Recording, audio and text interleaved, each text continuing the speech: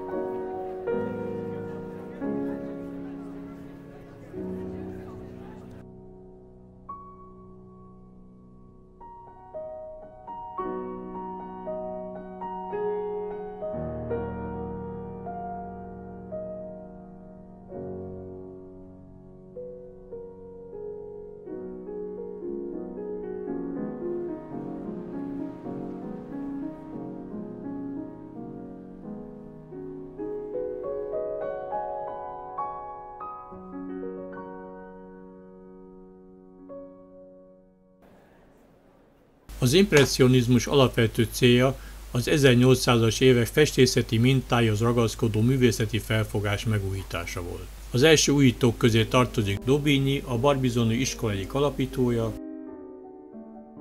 Delacroix és Courbet.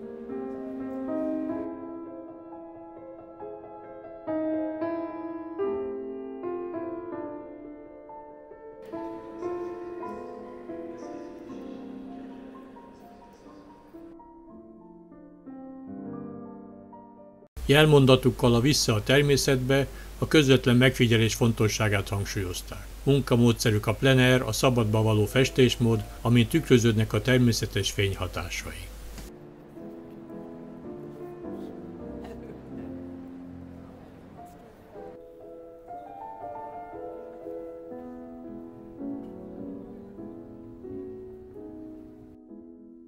Edgar Degas francia nemesi család sarja volt.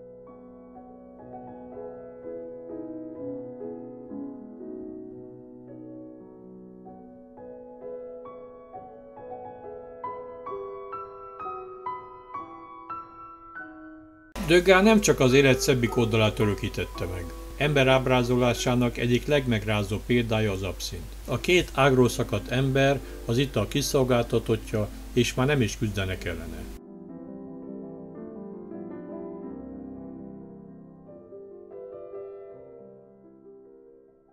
Ugyanilyen realizmussal enged betekinteni a vasalónők életébe.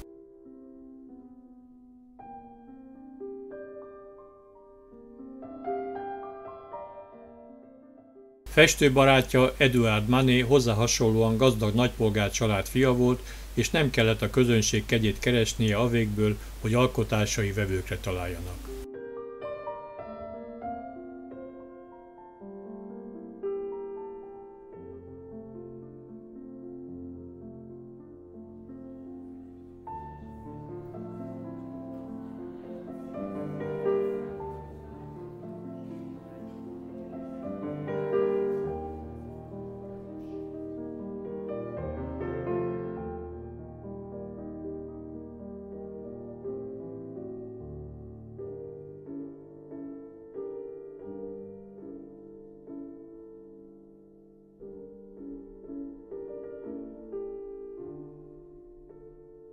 Renoir munkás családban született. Festészetet tanult, megismerkedett Monéval, Sisleyvel és Manéval is.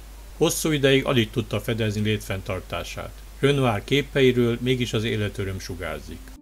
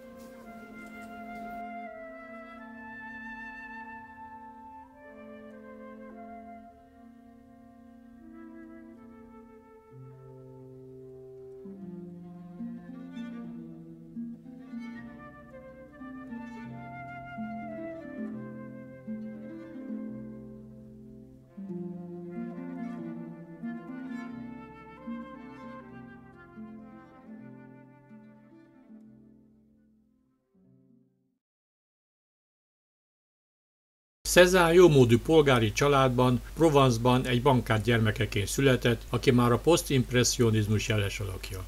A festészetről így nyilatkozott. Amikor a művész szellemileg magasra tör, az ember maradjon a háttérben, öröme csupán a munka legyen.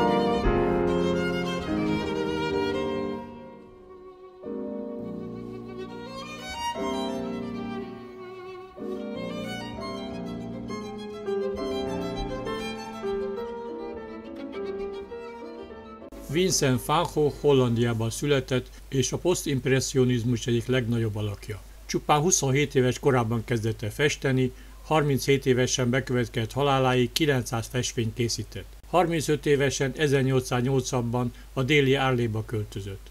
Eleinte minden rendben volt, de idegbetegsége kezdett elhatalmasodni rajta. Egész életét végigkísérte a nélkülözés, egyetlen képét sem tudta eladni. Festményemet megálmodom, majd álmaimat megfestem, írta testvérének Teónak, aki támogatta pályáját és mindig számíthatott rá.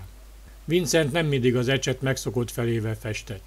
Volt, amikor az ecset eltörött végével, de volt, amikor a tubusból közvetlenül mutatta a festéket a vászonra.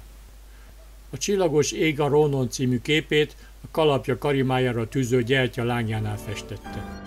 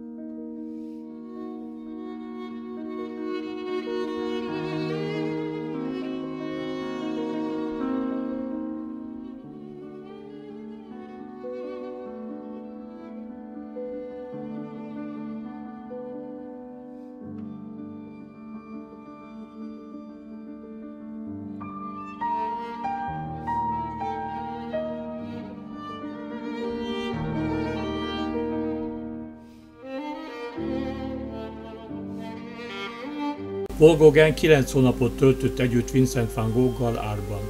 Ez a rövid időszak mindkettőjük számára alkotói korszakuk csúcspontját is jelentette. Gauguin a szimbolista művészeti mozgalom úttörője volt. Vad művészetről volt híres.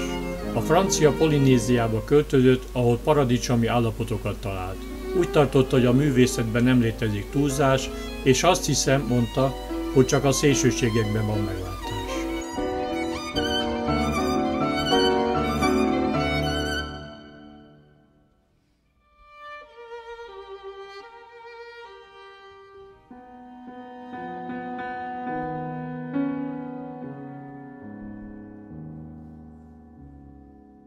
A francia művészet nagy korszakának alkotói munkáikkal jól megférnek egymással a Dorzé Múzeumban, amely ablakaival a 21. századi Párizsra tekint.